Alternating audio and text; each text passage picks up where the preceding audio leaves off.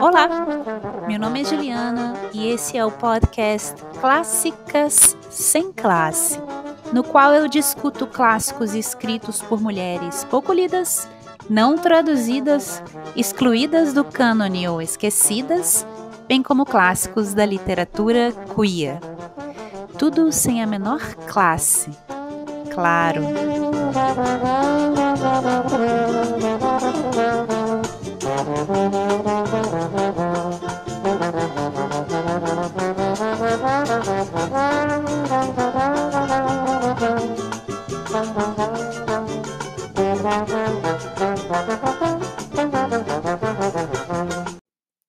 No episódio anterior, eu falei sobre a escritora italiana Sibilla Aleramo e sobre seu romance Uma Mulher, Una Donna, romance originalmente publicado em 1906.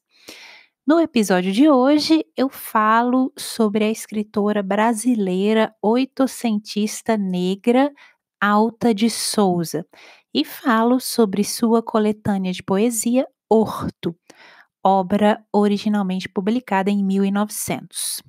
Mas antes, eu faço questão de mencionar aqui que nos estudos relativos à Alta de Souza destacam-se as pesquisas efetuadas, entre outros, pelas pesquisadoras e professoras Ana Laudelina Ferreira Gomes, Constância Lima Duarte, Nauba Lima de Souza Leão e a nossa saudosa Zaide Musart, entre muitos outros e outras pesquisadoras e pesquisadores. Como sempre, eu vou deixar lá na página do podcast uma lista de livros e artigos sobre a autora Alta de Souza, para quem quiser saber mais. O Pedro Fernandes, Pedro Fernandes de Oliveira Neto, do site Inverso e Reverso também já falou muito sobre essa autora lá nesse site. Então, é, convido vocês a visitarem o site dele, que é um excelente site de literatura. Eu também gostaria de aproveitar para chamar a atenção de vocês para uma campanha de arrecadação de recursos para hospitais públicos por conta da pandemia do coronavírus. É o financiamento coletivo promovido pela Universidade Federal de Minas Gerais, em parceria com o Instituto dos Advogados de Minas Gerais e a Fundação de Desenvolvimento da Pesquisa, Fundep, para apoiar o Hospital das Clínicas e o Hospital Risoleta Neves. Eu vou deixar o link no box de descrição desse episódio, se vocês quiserem conhecer essa campanha e se puderem ajudar. E por último, mas não menos importante, porque se a literatura não for importante em um momento como esse, é porque ela não é importante mesmo, então eu estou aqui tentando me agarrar à literatura. Eu vou chamar a atenção de vocês para outro financiamento, dessa vez não tem nada a ver com coronavírus, é um financiamento literário que é a campanha de financiamento coletivo para a publicação da obra Dona Bárbara, um livro que aborda a condição feminina, escrito em 1929 pelo escritor venezuelano Rómulo Gallegos, um escritor que teve cerca de 15 indicações ao Prêmio Nobel. O financiamento tem sido promovido pela recém-inaugurada editora Pinard e a última edição desse livro no Brasil data da década de 1970 e teve tradução de Jorge Amado. Então, se você se interessou por essa obra, eu vou deixar o link também do financiamento no box de descrição desse episódio. Bom, é isso. E agora vamos ao que interessa, que é saber quem foi Alta de Souza. Fio partido Fugir à mágoa terrena e ao sonho que faz sofrer, deixar o mundo sem pena, será morrer? Fugir neste anseio infindo à treva do anoitecer, buscar a aurora sorrindo, será morrer? E ao grito que a dor arranca e o coração faz tremer, voar uma pomba branca, será morrer? Lá vai a pomba voando, livre, através dos espaços. Sacode as asas cantando, quebrei meus laços. Aqui, na amplidão liberta, quem pode deter meus passos? Deixei a prisão deserta, quebrei meus laços.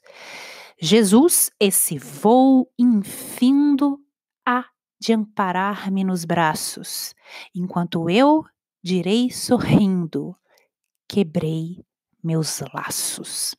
Esse é um poema de Alta de Souza. Alta Henriqueta de Souza foi uma escritora brasileira nascida em Macaíba, no Rio Grande do Norte, em 12 de setembro de 1876. Aos três anos de idade, a Alta perdeu a mãe, que morreu de tuberculose. E logo depois, quando a Alta tinha cinco anos de idade, ela, o pai dela também veio a falecer também de tuberculose. Órfã então de pai e mãe, a Alta e os irmãos dela foram criados por uma pela avó materna, conhecida como Dona Dindinha, e foram criados em uma chácara no Recife. Consta que as crianças tenham sido educadas por tutores e por professores particulares. A dona Dindinha era analfabeta, mas cuidava para que os netos tivessem a melhor educação que ela pudesse dar a eles. E já nessa época, a Alta de Souza gostava, ainda criança, gostava de reunir os trabalhadores da fazenda ao redor dela e contar histórias para eles. A alma de minha mãe. Partiu-se o fio branco e delicado dos sonhos de minha alma desditosa, e as contas do rosário assim quebrado caíram como folhas de uma rosa. Debalde eu as procuro lacrimosa essas doces relíquias do passado, para guardá-las na urna perfumosa do meu seio no cofre imaculado. Ai, se ao menos uma só pudesse dessas contas achar que me fizesse lembrar um mundo de alegrias doidas. Feliz seria. Mas minha alma tenta, em vão procuro uma continha benta. Quando partiste, mas levaste todas. Esse foi um poema de Alta de Souza em memória de sua mãe. Aos 11 anos, Alta foi matriculada em um colégio de freiras católicas, o Colégio São Vicente de Paulo, no Recife, onde ela aprendeu francês, inglês, religião, música, desenho, literatura e, especialmente, é, literatura religiosa. Ela falava francês fluentemente, lia os autores franceses no original e era uma leitora voraz. Consta que os escritores prediletos dela eram o Victor Hugo, o Lamartine, Gonçalves Dias e Luiz Murat. Aos 12 anos, ela perde o irmão mais novo, Irineu Rodrigues de Souza, que falece em um acidente e em um incêndio com um candeeiro. E como se não bastasse a sequência de tragédias na vida dessa garota, a partir dos 14 anos de idade, alta passa a sofrer de tuberculose. E aí, nessa ocasião, ela interrompe os estudos e se muda de volta para Macaíba, onde ela passa a trabalhar como professora de catecismo e começa a escrever. e a princípio são versos de teor religioso. Aos 18 anos, ela passa então a colaborar com a revista Oasis e aos 20 ela passa a escrever para o jornal A República.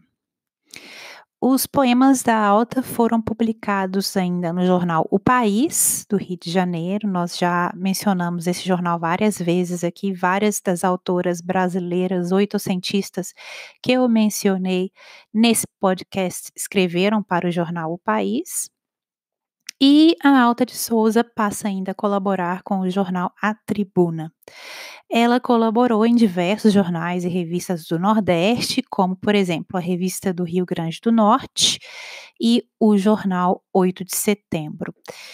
Há registros de poemas da Alta, da Alta de Souza em várias publicações voltadas para a luta pela emancipação das mulheres, como por exemplo a Mensageira, que nós já mencionamos aqui, todas as escritoras que eu mencionei no podcast Oitocentistas Brasileiras contribuíram para a Mensageira, Júlia Lopes de Almeida, Carmen Dolores, a Maria Benedita Borman, toda, todas elas e a Alta de Souza também. E a Alta de Souza também colaborou com a publicação O Lírio de Recife. Entre 1899 e 1900, consta que ela tenha assinado seus poemas sob os pseudônimos Ida Salúcio e Hilário das Neves. Alguns pesquisadores acreditam que a vinculação da Alta de Souza ao jornal A República, à revista 8 de Setembro e ao Grêmio Literário Tobias Barreto Todas essas vinculações sugerem uma aproximação dessa autora com a causa abolicionista, embora não haja aí uma comprovação direta e efetiva da participação da Alta de Souza em movimentos políticos. A força do destino. Minha alma treme como a mariposa que se atira na chama, alucinada, de cada vez que o meu olhar se pousa nos olhos teus, ó criatura amada. E em vez de sombra onde o olhar repousa, buscar, fugindo do fogo que devora, minha alma louca como a mariposa, se atira mais à chama que a enamora. Esse foi mais um poema da Alta de Souza. Por volta de 1895, a Alta conheceu um homem pelo qual ela veio se apaixonar. E como se não bastasse a lista de desditas na vida dessa autora, esse vai ser um amor não realizado. Ela conheceu João Leopoldo da Silva Loureiro, que era um promotor público da sua cidade natal, e ela namorou com ele por um ano. Porém, os irmãos da Alta eram contrários a esse relacionamento, provavelmente estavam preocupados com ela pelo fato de ela ter a saúde frágil, sofrer de tuberculose. E por pressão então dos irmãos, ela foi obrigada a se separar de João Leopoldo. E como se não bastasse, logo depois da separação, João Leopoldo veio a morrer também de tuberculose. Nesse período, ela escreveu uma coletânea de poemas, inicialmente intitulada Dálias, e que seria posteriormente lançada sob o título de Horto, livro publicado em 1900, que é o livro que eu vou um, mencionar aqui. E nessa primeira edição, esse livro contou com um prefácio de ninguém menos do que Olavo Bilac. Alguns dos poemas de Alta de Souza foram musicados e foram transmitidos pela tradição oral e cantados em festividades regionais integram esse cancioneiro da Alta de Souza os seguintes poemas musicados, entre outros: Caminho do Sertão, teus anos, desalento, agonia do coração, ao cair da noite, ao luar, meu pai, nunca mais, olhos azuis, palavras tristes, meu sonho, entre outros. O poeta Mário de Andrade até menciona esse cancioneiro, né, esses poemas musicados, ele os menciona na obra Um Turista Aprendiz, ao falar de canções que ele ouvira em uma viagem a Natal na década de 1920. Aqui eu vou citar o que ele escreve, abre aspas. Hoje estou gozando a vida na redinha. Chega um choro, clarineta, violões, ganzá, numa série deliciosa de sambas, machiches, valsas de origem pura, eu na rede, tempo passando sem dizer nada, modinhas de Ferreira Itajubá e Alta de Souza. A boca da noite se abriu sem a gente sentir. Fecha aspas. O Outro fato curioso aí relativo à autora é que o nome dela, o nome de Alta de Souza, é bem conhecido no Espiritismo. Primeiro, porque o Chico Xavier teria psicografado alguns sonetos atribuídos ao espírito de Alta de Souza. E também porque os seguidores do espiritismo kardecista, para eles, a Alta de Souza é considerada como um espírito superior que atuaria ali como uma mentora espiritual no plano celeste. Saudade. A ela, a Eugênia, a doce criatura que me chama irmã. Ah, se soubesses quanto sofro e quanto, longe de ti, meu coração padece. Ah, se soubesses como dói o pranto que eternamente de meus olhos desce. Ah, se soubesses, não perguntarias de onde é que vem esta sombria mágoa Traz-me o peito cheio de agonias e os tristes olhos arrasados d'água. Querem que a lira de meus versos cante mais esperança e menos amargura, que fale em noites de luar errante e não invoque a pobre noite escura. Mas como posso eu levar sonhando a vida inteira num anseio infindo, se choro, mesmo quando estou cantando, se choro, mesmo quando estou sorrindo. Ouve, ó formosa e doce e imaculada, visão gentil de eterna fantasia. Minha alma é uma saudade desfolhada, de mãe querida sobre a cova fria. Ah, minha mãe, pois tu não sabes, santa, que ela partiu e me deixou no berço? Desde esse dia a minha lira canta toda a saudade que lhe inspira o verso. Depois que ela se foi, a mágoa veio encher-me o coração de luto e abrolhos. Eu sofro tanto longe de seu seio, eu sofro tanto longe de seus olhos. Ó, oh, minha Eugênia, estrela abençoada que iluminas o horror deste deserto. De teu afeto, a chama consagrada lança a minha alma como um palho aberto. Quando beijares teus filhinhos, pensa o que seria deles sem teus beijos. E então compreenderás a dor imensa, a amargura cruel destes arpejos.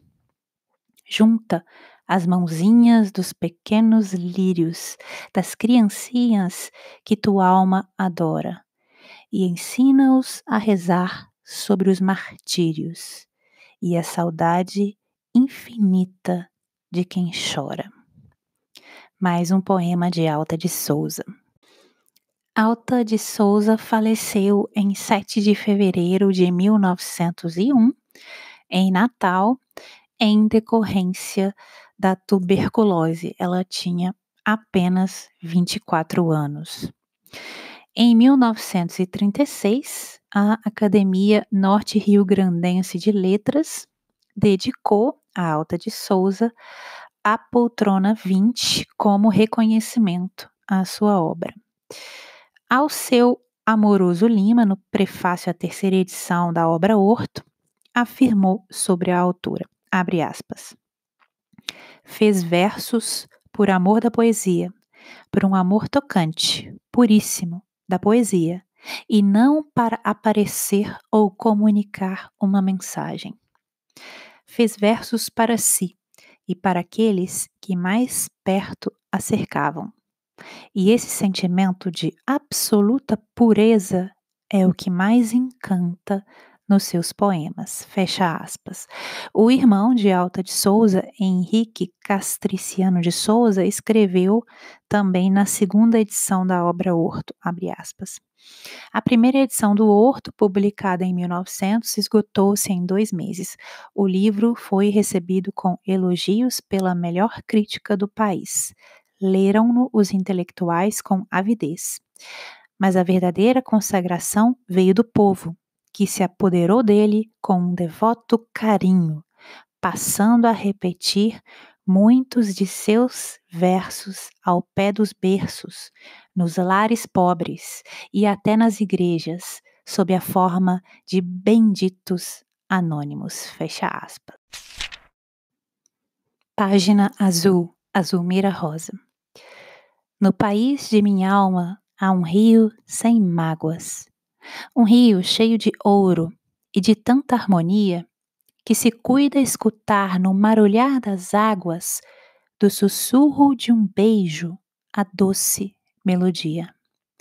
Este rio é o meu sonho, um sonho azul e puro, como um canto do céu, como um braço do mar, loura réstia de sol a rebrilhar no escuro casta luz que cintila em torno de um altar.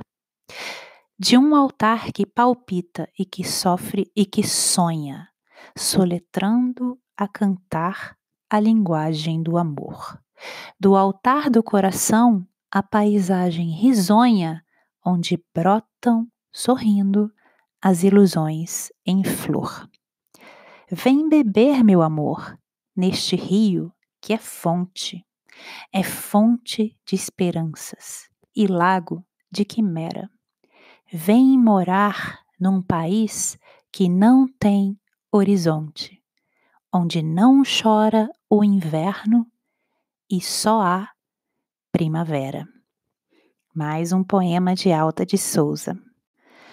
A coletânea de poemas Horto, como eu já disse, foi publicada originalmente em 1900, um ano antes do falecimento da escritora, e a primeira edição foi publicada pela Tipografia da República com prefácio de Olavo Bilac. A edição mais recente da obra foi publicada pela editora da Universidade Federal do Rio Grande do Norte em 2009 com apresentação, introdução e notas da professora Ana Laudelina Ferreira Gomes. Uh, os pesquisadores que se dedicam à obra da Alta de Souza encontram nos poemas da autora é, tanto elementos do romantismo, da segunda geração romântica, também conhecida como outra romântica, como também elementos do simbolismo. Os poemas abordam, como não poderia deixar de ser, depois que a gente viu essa biografia da autora, eles abordam a temática da morte, mas também abordam outros tópicos, como, por exemplo, o tópico do amor idealizado, o tópico da infância, da frustração amorosa, da melancolia, do sobrenatural, da espiritualidade e da sublimação do sofrimento por meio da escrita e da poesia. A poética de Alta de Souza faz uso aí de uma forte, talvez vocês já tenham notado pela leitura dos poemas até aqui, uma forte musicalidade.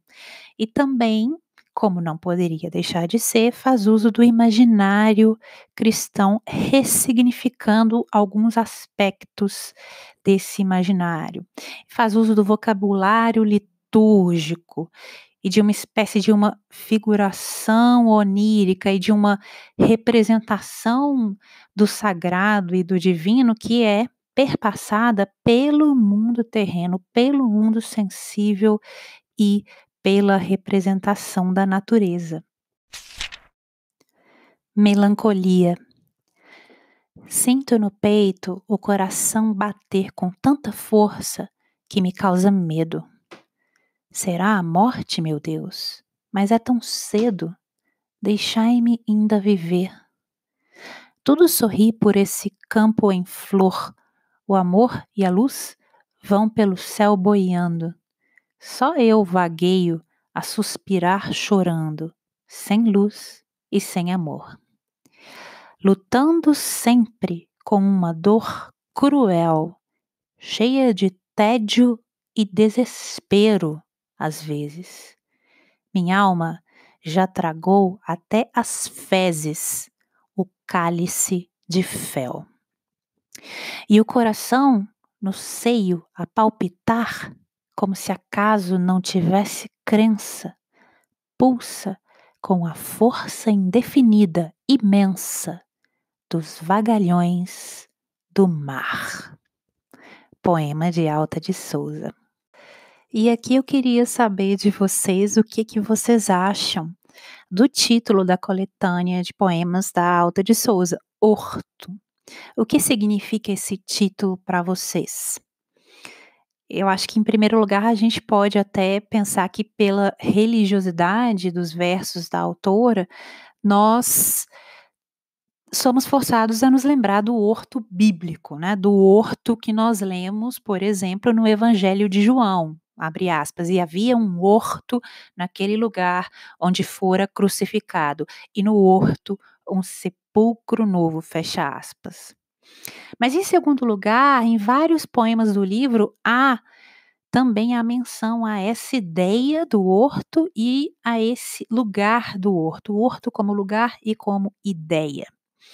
Por exemplo, no poema de mesmo título, no poema No Horto, abre aspas, os versos, abre aspas, eu disse e as sombras se dissiparam, Jesus descia sobre o meu horto, fecha aspas. E no mesmo poema, os seguintes versos, abre aspas, nas oliveiras do mesmo horto, enquanto orares, terás conforto, fecha aspas. Em outros poemas, essa ideia e esse lugar também aparecem. Por exemplo, na última estrofe do poema Estrada Afora, abre aspas, no coração um horto de martírios. Brotam sem fim as ilusões douradas, como nas campas desabrocham lírios. Fecha aspas. Então, nós temos essa polarização entre o horto dos martírios e o horto do conforto. O horto, então, como espaço de entrega e de súplica, de sofrimento e de cura, de renovação e de morte. O horto como um espaço de tensão e de negociação entre esses contrários minha alma e o verso. Não me olhes mais assim. Eu fico triste quando a fitar-me o teu olhar persiste, choroso e suplicante. Já não possuo a crença que conforta. Vai bater, meu amigo, a uma outra porta, em terra mais distante. Cuidavas que era amor o que eu sentia quando meus olhos, loucos de alegria, sem nuvem de desgosto, cheios de luz e cheios de esperança, numa carícia ingenuamente mansa, pousavam no teu rosto? Cuidavas que era amor? Ah, se assim fosse! Se eu conhecesse essa palavra doce, esse queixume amado. Talvez minha alma mesmo ativoasse e num berço de flor ela embalasse um riso abençoado. Mas não, escuta bem, eu não te amava. Minha alma era como agora escrava. Meu sonho é tão diverso. Tenho alguém a quem amo mais que a vida. Deus abençoa essa paixão querida. Eu sou noiva do verso. E foi assim, num dia muito frio, achei meu seio de ilusões vazio e o coração chorando. Era o meu ideal que se ia embora e eu soluçava, enquanto alguém lá fora, baixinho, ia cantando. Eu sou o orvalho sagrado que dá vida e alento às flores. Eu sou o bálsamo amado que sara todas as dores. Eu sou o pequeno cofre que guarda os risos da aurora. Perto de mim ninguém sofre, perto de mim ninguém chora. Todos os dias, bem cedo, eu saio a procurar lírios para enfeitar em segredo a negra cruz dos martírios. Vem para mim, alma triste, que soluças de agonia. No meu seio, o amor resiste. Eu sou filho da poesia. Meu coração despiu toda a amargura, embalado na mística doçura da voz que ressoava. Presa do amor, na delirante calma, eu fui abrir as portas de minha alma ao verso que passava. Desde esse dia, nunca mais deixei-o. Ele vive cantando no meu seio, numa algazarra louca. Que seria de mim se ele fugisse? Que seria de mim se não ouvisse a voz de sua boca? Não posso dar-te amor, bem vês. Meus sonhos são da poesia, os ideais risonhos, em lago de ouro imersos. Não sabias dourar os meus abrolhos, e eu procurava apenas nos teus olhos assunto para versos. Mais um poema de Alta de Souza. Esse horto, então, do título é ao mesmo tempo um espaço físico, um espaço concreto nos poemas, o jardim, como por exemplo no poema Goivos, abre aspas. Que tempo estive, não sei, do mundo inteiro distante, o jardim, naquele instante, foi a terra que eu amei. Fecha aspas. Então é ao mesmo tempo esse espaço físico do jardim, o horto, e um espaço imaginário. Seja esse imaginário o paraíso perdido da infância, ao qual ela está sempre tentando voltar, ou o ponto de refúgio que ela encontra, que o eu lírico encontra na escrita e no verso. Então, o espaço físico do jardim, um espaço imaginário, seja da infância, seja do refúgio da escrita. O horto é esse ponto em que a vida terrena e concreta e a vida divina e idealizada se embaralham no poema. E é também o espaço existencial percorrido por esse eu lírico de poema a poema, de página a página, até o fim da coletânea. Falando ao coração, a generosa Pinheiro. Desperta, coração, vamos morar numa casinha branca ao pé do mar, que seja linda como é linda a lua que em noites santas pelo azul flutua, imaculada como a luz do amor, alva de neve como um sonho em flor. Quando a noite vier, se no meu seio estremeceres, cheio de receio, tremendo a sombra que amortalha o dia e cobre a terra de melancolia, longe do mundo e da desesperança, hei de embalar-te como uma criança. Quero que escutes o gemer profundo do mar que chora a pequenez do mundo, e ouças cantar a doce barcarola da noite imensa que se desenrola, dando perfume ao coração dos lírios, trazendo sonhos para os meus martírios. E quando o sol nascer, Quando formosa como uma garça branca e misteriosa, batendo as asas cor de neve, a aurora vier cantando pelo mundo afora, rufla as asas também. E forte, então, tu podes palpitar, meu coração.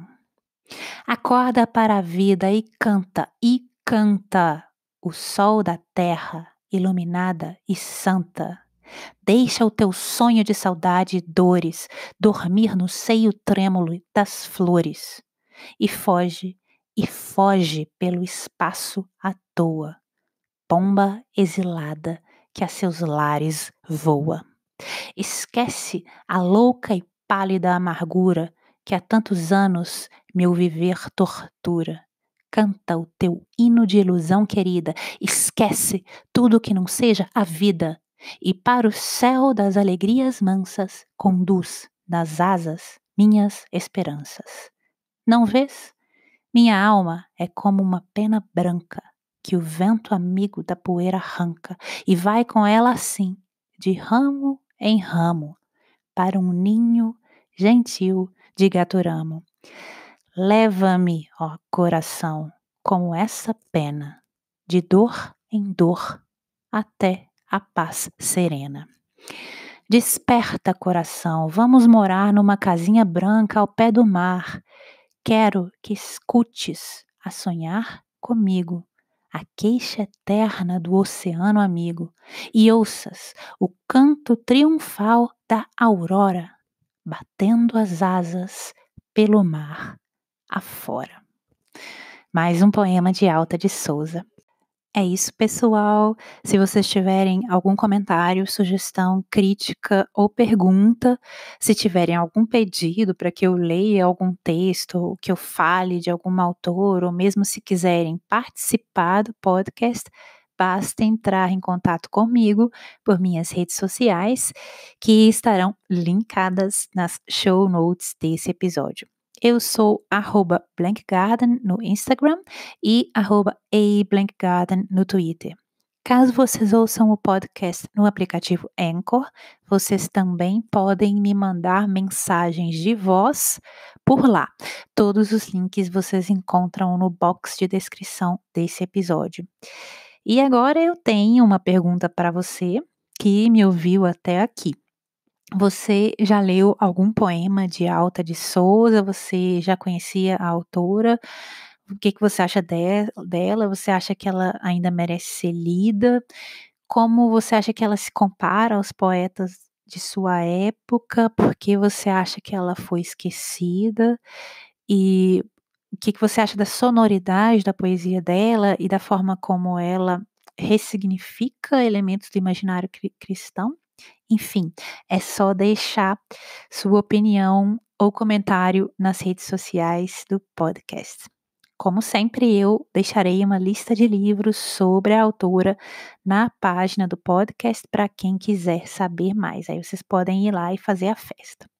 Muito obrigada por terem escutado até aqui. Espero que tenham gostado e até o próximo episódio. Esse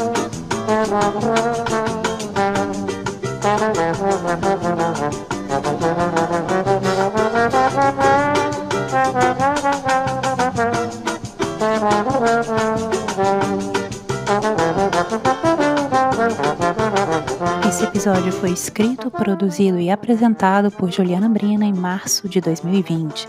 A música tema foi baseada na peça Sonoroso, composta em 1945 por Cachimbinho, apelido de Sebastião de Barros, compositor nascido no Rio Grande do Norte, e executada por Zé da Velha, apelido de José Alberto Rodrigues Matos, no álbum Choro na Praça, de 1977.